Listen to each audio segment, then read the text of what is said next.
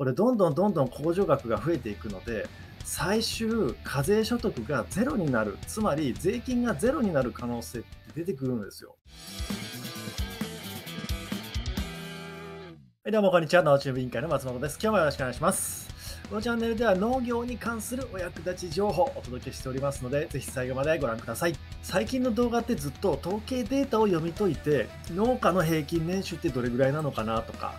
経費の内訳ってどんなもんなのかなっていうことをお見せしてきたんですけれども、農業をメインに働いている露地野菜農家の平均年収が300万円ですみたいな動画出したことあったんですよ。この300万円って数字どう思います？人によって受け取り方はもちろん違うと思うんですよ。その所得じゃ少ないよというふうに感じる方もいらっしゃると思いますし、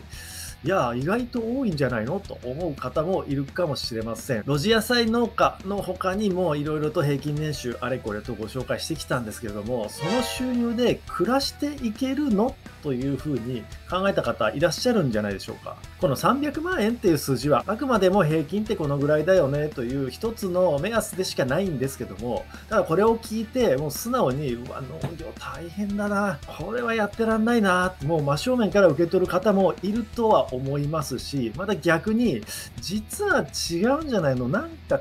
隠してんじゃないの？印象操作とかしてない？って疑う人がいてもいいと思うんですよ。というのもですね、農業の年収っていうのは会社員と比べた時にはちょっと違う仕組みがあって、会社員ではちょっとわからないからくりがあるんですね。会社員と自営業、つまり農家の収入っていうのは単純に比較できないんですよ。日本の労働者の平均年収450万円、露地野菜農家の平均年収300万円、こう出された時に会社員に比べるとかなり年収は低いはずなのにでも実は農家の方がリッチでスマートな暮らしをしている。そんなことってあったりするんですよ。今回はその秘密を少しだけご紹介していきます。裏技でもなければ違法でもなくちゃんとした合法のテクニックではあるんですけども収入を低く見せて税金を安くする方法があるんですよ。農業って収入少ないから飛び込むの躊躇するよなと思っている方。実はそんなことなくて、過剰に怖がらなくても大丈夫です。飛び込んできてください。猫をかぶる方法はいくらでもあるんですよ。今回はそんな話です。収入が少なくても豊かに暮らしている理由、それは節税ができるからです。農家を含め自営業者というのは所得税とか住民税を低く抑えるための方法がいくつも用意されています。活用すれば税金を安く抑えられるんです。一方、会社員が節税のために何かできるかっていうと、できる手はほとんどないですね。ゼロではないんですけども、ないに等しいと思います。税金の計算は会社がやってくれるからです。でも農家は違うんですよ。事業者って自分で税金を計算して確定申告しなきゃいけないんですね。売上がこれだけで、経費がこれだけで、残った所得、利益がこのぐらいでした。なので、私は税金これぐらい払います。というふうに自分で帳簿をつけて計算をしていくんですよ。ここに隙ができるんですよ。節税の余地が生まれるということです。例えば農家の収入を計算するとして売上が1000万円ありました経費が700万円かかってます差し引くと所得が300万円こういう農家があったとしてここでかかっている経費700万円って事業のために使ったお金を経費として計上していくんですよ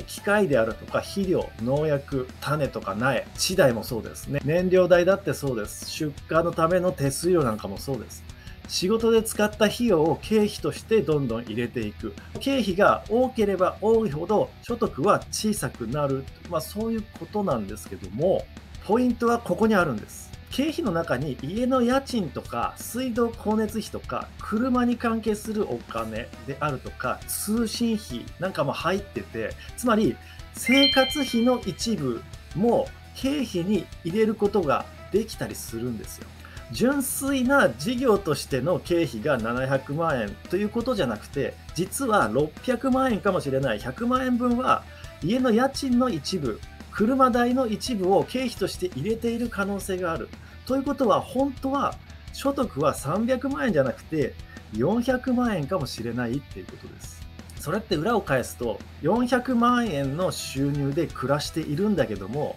払っている税金は300万円分の収入から計算されたものであるということです。この生活費の一部を経費にするっていうのは家事案分って言われるんですけども、正式に認められてるもので、経費が大きくなる、つまり所得が小さくなる。これが所得税とか住民税、その他国民健康保険料なんかにも関わってくるので、手残り、つまり手元に残るお金が実は何十万円も変わってくるよっていう話なんです。この家事案部もうちょっと詳しく具体的に言うと農業って生活と仕事がかなり密着しているぐちゃぐちゃに混ざっている業種ですよね。だからいろんなものを経費に入れやすくて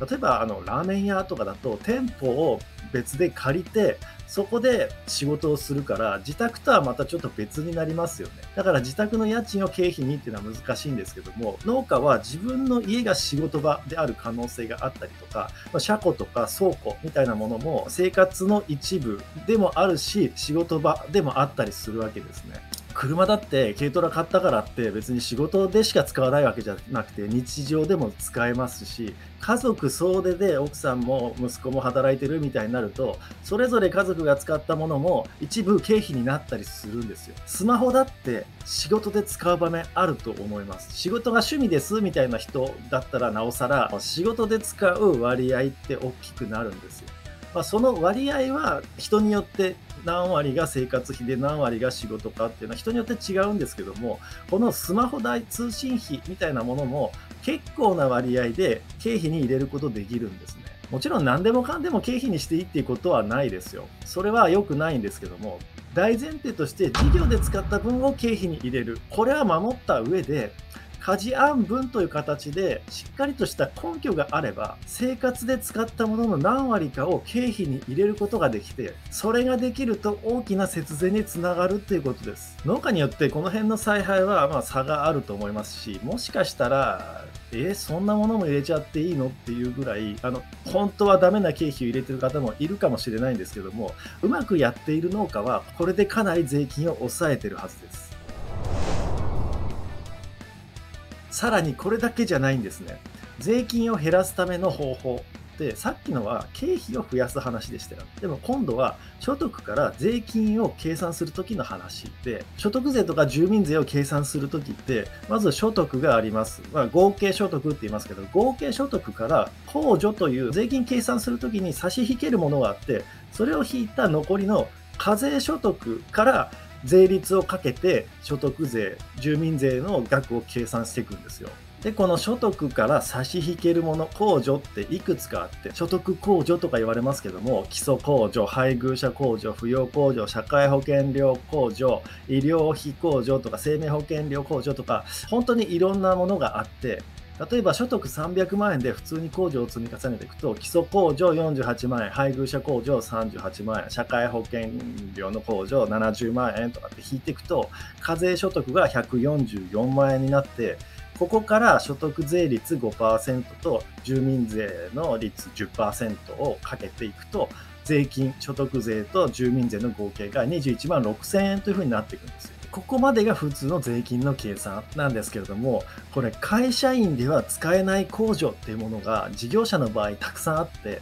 いくつかご紹介すると、青色申告っていうものを使うと、青色申告特別控除、最大65万円使えたりとか、家族に給料を支払うという形にすると、白色申告の場合は先住者控除という形で控除の額86万円かもしくは50万円というふうに引けますし、青色申告であれば先住者給与という形になるので、これは経費を膨らませることができます。で農業者年金を支払っている場合はその金額全額が控除額になりますし退職金として小規模企業共済に積み立てている場合これも全額控除として差し引くことができるんですよ。こういったものをうまく使っている農家って先ほど課税所得が144万円です。で、そこから計算して21万6000円ですみたいに言いましたけども、今挙げた青色申告特別控除とか、先住者給与控除みたいのを使うとか、あの農業者年金払ってます、小規模企業共済払ってますみたいになってくると、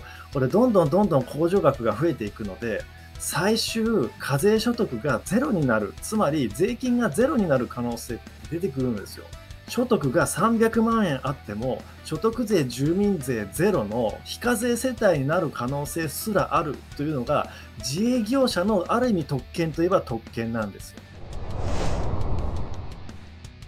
ということでいかがでしたでしょうか？最後まとめますけれども農家の所得ってなんだか少ないように見えるんじゃないか問題。これについては単純に会社員とは比較できないという話をお伝えしてきました。自営業者である農家は税金を低くするためのテクニックが結構いろいろあるので数字以上に豊かな暮らしをできる可能性場合があってそれは生活費の一部を経費として入れる家事案分であったりとか、税金計算の時の控除をいろいろと増やしていくことだったり、ちゃんと節税対策をすれば、20万円の所得税、住民税なんていうのは簡単にゼロに近づけることができるわけですよ。なので、統計から出てくる所得というのはあくまでも参考であって、実態はもしかしたら数字以上に農家は豊かな暮らしをしているかもしれないと、まあ、そういうことです。さあ、今回の動画いかがでしたでしょうか？勉強になった、参考になったという方は、ぜひグッドボタンとチャンネル登録と両方お願いいたします。動画の中にあった控除についてもうちょっと詳しく聞きたいという方は、あのグッドボタンを3回か4回ぐらい押しといてください。では次の動画でまたお会いしましょう。ありがとうございました。